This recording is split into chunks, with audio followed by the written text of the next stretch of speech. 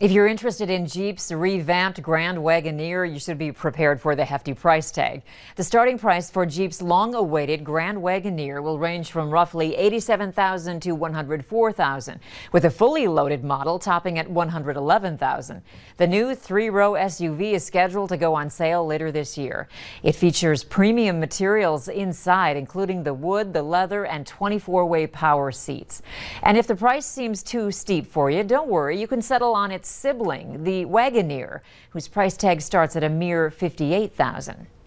Uber and Lyft are teaming up to make their rides safer. The companies will share with each other the names of drivers who are banned due to serious safety incidents, such as sexual assault. The database will soon be available to other car and delivery services as well. Netflix may be cracking down on password sharing.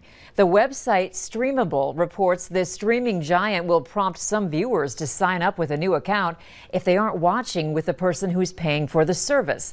An email or text will be sent to verify who's watching.